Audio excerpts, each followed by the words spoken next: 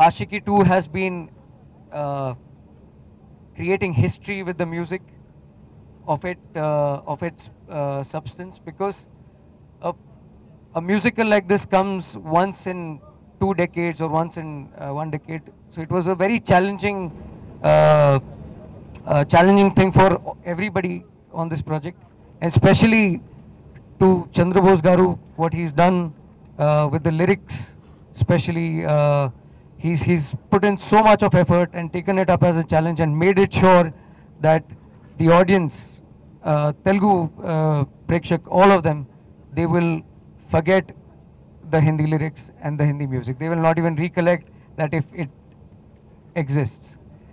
So I'm very excited.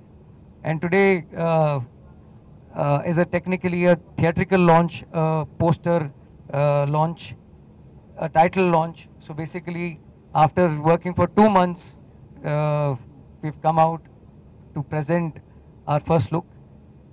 And uh, I hope the audience get to see on YouTube and through all the mediums that you people, good people are here to show.